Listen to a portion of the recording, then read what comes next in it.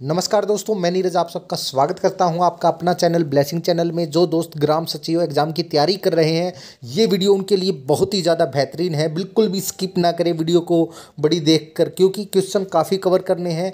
हरियाणा जी के और current affair को हम इस वीडियो में कवर करने की कोशिश करेंगे। जो दोस्त एचएसएससी के कोई भी एग्ज़ाम की तैयारी कर रहे हैं, उनके लिए भी ये वीडियो रहेगी, बहुत ही ज़्यादा बेहतरीन वीडियो रहेगी। चलो दोस्त, दोस्तों, हम शुरू करते हैं। पहला क्वेश्चन है कि हरियाणा राज्य का गठन किस समिति की सिफारिश पर हुआ था? बहुत ही ज़्यादा इंपॉर्टेंट ये क्वेश्चन रहेगा तो हमारा आंसर रहेगा, हुकुम सिंह समिति की सिफारिश पर हरियाणा राज्य का गठन हुआ था। हरियाणा राज्य का गठन कब हुआ था? एक नवंबर उन्नीस सौ छियासठ ईस्वी में, जो हुकुम सिंह समिति है, इनका पूरा यदि समिति का नाम पूछा जाए तो सरदार हुकुम सिंह समिति ये नाम रहेगा। तो जो सरदार हुकुम सिंह है, ये इनके बारे में यदि बताया जाए तो ये उन्नीस सौ सड़सठ से लेकर उन्नीस सौ बहत्तर के बीच में राजस्थान के राज्यपाल भी रहे थे। नेक्स्ट क्वेश्चन है कि शेख चिल्ली का मकबरा कहाँ पर है? तो हमारा आंसर रहेगा थानेसर में। थानेसर कहाँ पर है? कुरुक्षेत्र में। थानेसर सरस्वती घगर नदी के तट पर स्थित है। इस क्वेश्चन को हम याद कैसे कर सकते हैं? उस पर बात करते हैं कि शेख चिल्ली का मकबरा थानेसर में है तो हम याद कर सकते हैं कि शेख चिल्ला रहा था थाने थाने में सर पटक पटक कर। नेक्स्ट क्वेश्चन है कि सूरदास किस शासक के समकालीन थे? ये क्वेश्चन बहुत बार पूछा गया है, दिखने में बिल्कुल आसान क्वेश्चन है, लेकिन पूछा गया है। तो ये हमारा आंसर रहेगा, अकबर के ये समकालीन थे। सूरदास से रिलेटेड काफ़ी क्वेश्चन पूछे जाते हैं, जन्म से अंधे थे, ब्रिज में ये हुए थे और ब्रिज भाषा का ये यूज़ करते थे अपनी रचनाओं में। काफ़ी रचनाएँ हैं जो उनकी पूछी जाती है, जैसे कि सुरसागर, सुरसावली, साहित्य लहरी, नल दमयंती, ब्याहलो। नेक्स्ट क्वेश्चन है नेक्स्ट क्वेश्चन है कि मशरूम उत्पादन में हरियाणा का कौन सा स्थान है? तो हमारा आंसर रहेगा, प्रथम स्थान है हरियाणा मशरूम उत्पादन में हरियाणा का। अगर पूछा जाए कि हरियाणा में किस ज़िले में सबसे ज़्यादा मशरूम उगाई जाती है तो हमारा आंसर रहेगा सोनीपत में। हरियाणा की सोनीपत ज़िले में सबसे ज़्यादा मशरूम उगाई जाती है। तो हम दो दो क्वेश्चन इसमें कवर हो गए हैं। नेक्स्ट क्वेश्चन की तरफ़ बढ़ते हैं। नेक्स्ट क्वेश्चन है कि हरियाणा के किस ज़िले में डीएलएफ गोल्फ स्थित है? तो हमारा आंसर रहेगा गुरुग्राम के अंदर स्थित है। गुरुग्राम से काफ़ी क्वेश्चन निकल निकल कर आते हैं। जैसे कि हरियाणा में जो शीतला माता मंदिर है, जो कि गुड़गांव के अंदर है, हमें पता है, उसका निर्माण किस वास्तु शैली में हुआ था? या किस वास्तु शैली में है? तो ये क्वेश्चन काफ़ी बार पूछा जाता है कि शीतला माता जो मंदिर है, उसको वो किस वास्तु शैली में है? तो हमें पता होना चाहिए कि राजस्थानी वास्तु शैली में इसका निर्माण किया गया है। और काफ़ी पर्यटन स्थल है या हम ये कह सकते हैं कि साइबर सिटी हरियाणा में साइबर हब के नाम से कौन सी सिटी को जाना जाता है? ये क्वेश्चन भी काफ़ी काफ़ी बार पूछा जाता है कि साइबर हब सिटी से किस हरियाणा के किस ज़िले को जाना जाता है? तो हमारा आंसर रहेगा गुड़गांव को। और दमदमा झील कहाँ पर स्थित है? ये भी गुड़गांव में है। सुल्तानपुर पक्षी अभ्यारण्य कहाँ पर है? ये भी गुड़गांव के अंदर ही आता है। ये काफ़ी क्वेश्चन निकल कर आते हैं। जैसे कि पार्क अप्पू घर कहाँ पर स्थित है? ये भी गुड़गांव के अंदर है। फारूक नगर किला कहाँ पर है? ये भी गुड़गांव के अंदर है। ये काफ़ी क्वेश्चन गुड़गांव से निकल कर आते हैं। तो हम राइट डाउन कर लेते हैं। नेक्स्ट क्वेश्चन की तरफ़ बढ़ते हैं। नेक्स्ट क्वेश्चन है कि राष्ट्रीय दुग्ध अनुसंधान कहाँ पर स्थित है? देखो दोस्तों, ये क्वेश्चन कई बार पूछा गया है तो हमें पता होना चाहिए कि राष्ट्रीय दुग्ध अनुसंधान करनाल के अंदर स्थित है और करनाल यमुना नदी के तट पर बसा हुआ है और करनाल से काफ़ी क्वेश्चन निकल कर आते हैं। जैसे कि करण ने कौन सा नगर बसाया था? राजा करण ने कौन सा नगर बसाया था? करनाल को बसाया था। तो कर्ण ने ये करनाल को बसाया था और करनाल से काफ़ी क्वेश्चन निकल कर आते हैं। जैसे कि कलंद्र शाह गुंबद कहाँ पर स्थित है? करनाल के अंदर है। छावनी चर्च कहाँ पर स्थित है? ये भी करनाल के अंदर स्थित है। और करण जलाशय भी करनाल के अंदर है। सीता माई मंदिर के बारे में पूछा जाए तो भी ये करनाल के अंदर स्थित है। और बारस्थली बारस्थली काफ़ी इम्पोर्टेंट ये स्थल है, क्योंकि कहा जाता है कि बारस्थली के नीचे गंगा बहती है और बरसालू। बरसालू को इसलिए महत्वपूर्ण माना जाता है कि बरसालू के अंदर नाग देवता का बहुत पुराना मंदिर है और यहाँ की मान्यता ये है कि कितना भी विशेला सांप आपको काट ले, अगर आप नाग देवता के मंदिर में जाकर आप घी का दिया जलाएँगे तो आपको एक मतलब जितना भी विषैला जहर आप को लड़ा है या काटा है तो आपकी डेथ नहीं होगी। यहाँ की मान्यता है, बरसालू की मान्यता है और इसका एक बहुत बड़ा उदाहरण भी है कि बरसालू के अंदर आज तक कोई भी व्यक्ति सांप का काटा हुआ नहीं मरा है। तो ये बहुत ही महत्वपूर्ण क्वेश्चन था और इसके अंदर हमने काफ़ी क्वेश्चन कवर किए हैं। नेक्स्ट क्वेश्चन है। एशिया का सबसे बड़ा कैक्टस गार्डन कहाँ पर स्थित है? देखो दोस्तों, हम फास्ट करने की कोशिश कर रहे हैं और ज़्यादा क्वेश्चन कवर करने की कोशिश करेंगे। एशिया का सबसे बड़ा कैक्टस गार्डन कहाँ पर स्थित है? तो हमारा आंसर रहेगा पंचकुला के अंदर। एशिया का सबसे बड़ा कैक्टस गार्डन स्थित है। पंचकुला काफ़ी फ़ेमस है। पंचकुला मतलब पंच मतलब पाँच और कुला का मतलब नहर। तो हाँ ये भी क्वेश्चन आ सकता है कि हरियाणा में कौन से नगर को या कौन से ज़िले को ये कहा जाता है कि पाँच नगरों का शहर या पाँच नहरों का शहर सॉरी तो हमारा आंसर रहेगा पंचकुला। तो पंचकुला का गठन हुआ था पंद्रह अगस्त उन्नीस सौ ईस्वी में और यहाँ पर बहुत ही ज़्यादा इंपॉर्टेंट क्वेश्चन ये आता है कि गिर प्रजनन केंद्र कहाँ पर स्थित है, ये क्वेश्चन आता है और गिद्ध प्रजनन केंद्र कहाँ पर है तो ये पंचकुला के अंदर है, टिक्करताल झील कहाँ पर है पंचकुला में, हरियाणा में एकमात्र हिल्स स्टेशन है तो वो कहाँ पर है? मोरनी हिल्स, वो भी पंचकुला के अंदर है। एक बात और दोस्तों, यदि ये पूछा जाए कि सूखना झील कहाँ पर है तो चंडीगढ़ हमारा आंसर रहेगा, लेकिन यदि ऑप्शन के अंदर चंडीगढ़ नहीं है और पंचकुला है तो हमारा आंसर पंचकुला रहेगा। याद रखना, सूखना झील चंडीगढ़ के अंदर है और पंचकुला से सटा हुआ, और यदि ऑप्शन के अंदर चंडीगढ़ नहीं है और पंचकुला है तो हमारा आंसर पंचकुला रहेगा। नेक्स्ट क्वेश्चन है, हरियाणवी उपन्यास झाड़ू फ्री की रचना किसने की? तो हमारा आंसर रहेगा राजा राम शास्त्री ने की। ये क्वेश्चन सभी बच्चों को लगभग याद ही रहता है जो तैयारी करते हैं एच एस एस सी की, क्योंकि बार बार ये क्वेश्चन पूछा जाता है। तो आज मैं ये बताता हूँ कि ये क्वेश्चन बार बार पूछा क्यों जाता है कि झाड़ू फ्री की रचना किसने की? तो झाड़ू फ्री जो ये, जो उपन्यास है, ये बार बार इसलिए पूछा जाता है क्योंकि ये हरियाणवी भाषा में लिखा हुआ प्रथम उपन्यास है। इसलिए बार बार पूछा जाता है कि राज, ये झाड़ू फ्री के बारे में पूछा जाता है कि ये रचनाकार कौन है इसका और हरियाणवी भाषा में लिखा हुआ पहला उपन्यास कौन सा है? ये ऐसे करके क्वेश्चन पूछा जाता है। एक क्वेश्चन पीछे रह गया था, जो पीछे क्वेश्चन था कि राष्ट्रीय दुग्ध अनुसंधान कहाँ पर है और हमारा आंसर था करनाल। तो करनाल एक क्वेश्चन ये भी आता है कि कल्पना चावला का जन्म कहाँ हुआ था? तो कल्पना चावला का जन्म भी करनाल के अंदर हुआ था, एक जुलाई उन्नीस सौ इकसठ ईस्वी में। नेक्स्ट क्वेश्चन है कि महाभारत के समय हरियाणा को किस नाम से जाना जाता था? ये क्वेश्चन अक्सर बच्चे गलत करके आते हैं क्योंकि तीन नाम से जाना जाता था महाभारत के समय हरियाणा को। बहुधान्य, मयूर भूमि, दर्शान। तो कई बार दर्शान आता है तो हमें बहुधान्य याद रहता है तो हम गलत करके आ जाते हैं। तो मैंने एक छोटी सी ट्रिक बनाई है जिससे आप याद कर सकते हैं। जैसे कि भारत की महान बहु, मयूर के दर्शन करके धन्य हुई।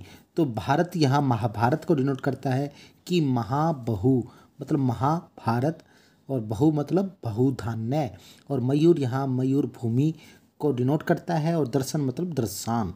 ये तीनों शब्दों को आप याद कर पाएँगे, आसानी से डिनोट कर पाएँगे।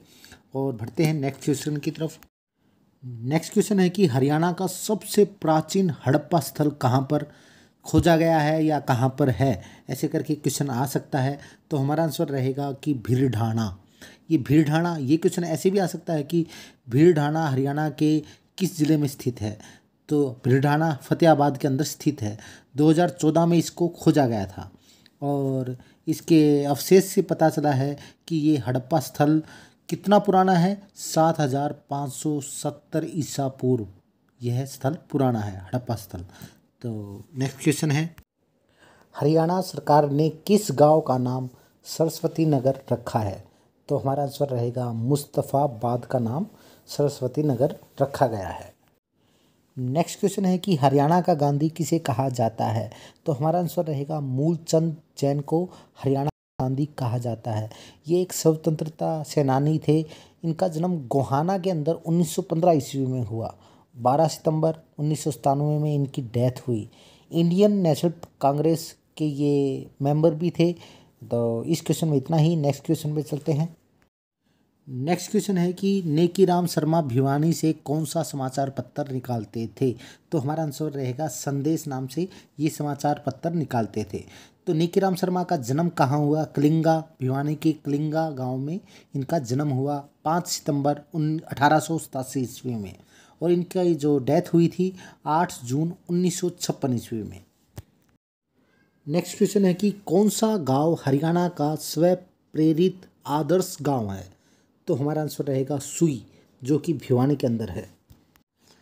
नेक्स्ट क्वेश्चन है कि भीम पुरस्कार हरियाणा के किस मंत्रालय द्वारा दिया जाता है? तो हमारा आंसर रहेगा खेल एवं युवा मंत्रालय द्वारा ये दिया जाता है। या ऐसे भी आ सकता है कि खेल एवं युवा मामले द्वारा ये दिया जाता है।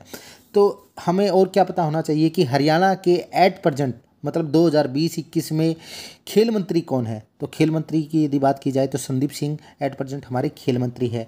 और भीम पुरस्कार में राशि कितनी दी जाती है? ये क्वेश्चन आ चुका है। तो भीम पुरस्कार में पाँच लाख रुपये दिए जाते हैं इनाम स्वरूप। लेकिन एक बात और साथ में है कि पाँच हज़ार रुपये भत्ता भी दिया जाता है पर मंथ। और वो उस भत्ते को क्या बोलते हैं? भीम भत्ता। नेक्स्ट क्वेश्चन है कि प्राण सांकली की रचना किसने की थी? तो ये क्वेश्चन ज़्यादा इम्पोर्टेंट तो नहीं कह सकता है, लेकिन ये आ जाता है कई बार कि प्राण सांकली की रचना किसने की थी तो हमारा आंसर रहेगा चुरंगी नाथ ने। चुरंगी नाथ का दूसरा नाम क्या है? ये भी आ सकता है कि पूरनमल। कि प्राण सांकली की रचना किसने की? पूरनमल भी हमारे ऑप्शन में आ सकता है, या चुरंगी नाथ ये दोनों एक ही नाम है मतलब इसके उपनाम है। तो इनका जन्म कब हुआ था? आठवीं सती में। मतलब आठ सौ ईस्वी में इनका जन्म हुआ था।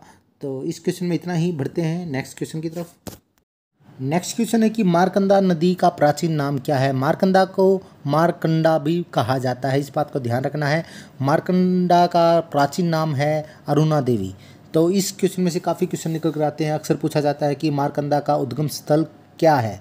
तो उद्गम स्थल की यदि बात की जाए मतलब कहाँ से निकलती है तो हिमाचल प्रदेश के सिरमौर ज़िले में उत्तम वाला बाराबन नामक स्थान से ये उत्पन्न होती है। और ये हरियाणा के काफ़ी क्षेत्र में बहती भी है और इसी नदी को पवित्र नदी भी कहा जाता है। ये क्वेश्चन निकल कर आता है कि पवित्र नदी हरियाणा में पवित्र नदी का नाम किसे दिया गया है? वो मारकंदा को दिया गया है। और क्यों दिया, इसको पवित्र नदी क्यों कहा जाता है? ये भी बात आ सकती है। तो मारकंदा नदी को पवित्र नदी इसलिए कहा जाता है क्योंकि इसके किनारे पे काफ़ी मंदिर है। और दूसरी बात, कुरुक्षेत्र ज़िले के जो शाहबाद नगर है, वो इसी नदी के किनारे पर बसा हुआ है। नेक्स्ट क्वेश्चन है। हरियाणा में किस सब्ज़ी की खेती सबसे अधिक मात्रा में होती है? तो हमारा आंसर रहेगा, हरियाणा में सबसे ज़्यादा सब्ज़ी की जो खेती होती है, वो होती है आलू की। नेक्स्ट क्वेश्चन एग्ज़ाम की दृष्टि से बहुत ही ज़्यादा महत्वपूर्ण रहेगा, क्योंकि बार बार पूछा जाता है कि यमुना नदी हरियाणा में कहाँ से प्रवेश करती है? यमुना नदी हरियाणा में कहाँ से प्रवेश करती है? कलेसर से। अब कलेसर कहाँ है? कलेसर यमुना नगर में है। एक क्वेश्चन और आता है यहाँ से ही कि क्लेसर नेशनल पार्क कहाँ पर स्थित है? तो क्लेसर नेशनल पार्क कहाँ पर स्थित है? यमुना नगर में ही। यमुना नदी की बात आई है तो यमुना नदी से एक क्वेश्चन और निकल कर आता है कि हथनी कुंड बैराज किस नदी पर है? हथनी कुंड बैराज किस नदी पर है? वो है यमुना नदी पर। नेक्स्ट क्वेश्चन भी बहुत ही ज़्यादा इंपॉर्टेंट है। एग्ज़ाम की दृष्टि से कि हरियाणा का कालिदास किसे कहा जाता है? बार बार पूछा जाता है कि हरियाणा का कालिदास किसे कहा जाता है? तो हमारा आंसर रहेगा दीपचंद ब्राह्मण को।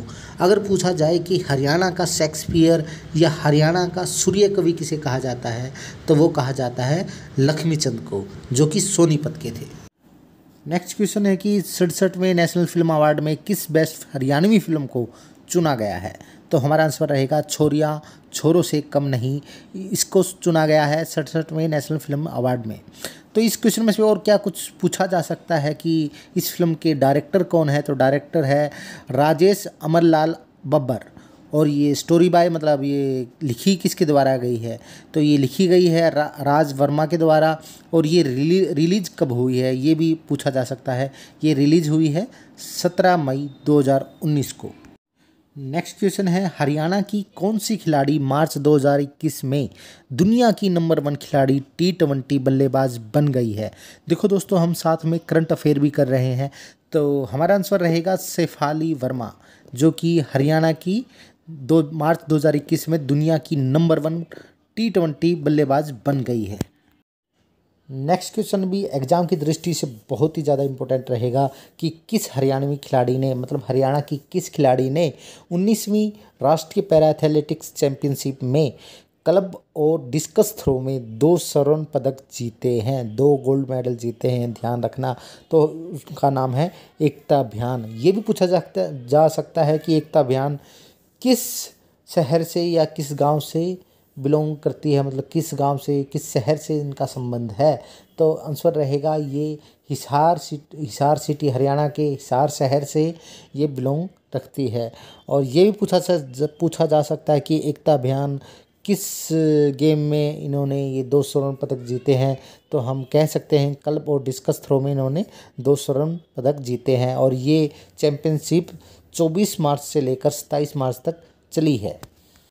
देखो दोस्तों, इस वीडियो में बहुत ही बेहतरीन प्रश्न थे जो कि आ सकते हैं, संभावित है, लेकिन ये वीडियो बहुत ही ज़्यादा बड़ी बनती जा रही है तो मैं दूसरे पार्ट में बाकी के क्वेश्चन ज़रूर डालूँगा, लेकिन ये क्वेश्चन भी बहुत ही ज़्यादा इम्पोर्टेंट रहेंगे, क्योंकि क्वेश्चन बहुत है जो कि एग्ज़ाम की दृष्टि से बहुत ही ज़्यादा महत्वपूर्ण रहेंगे।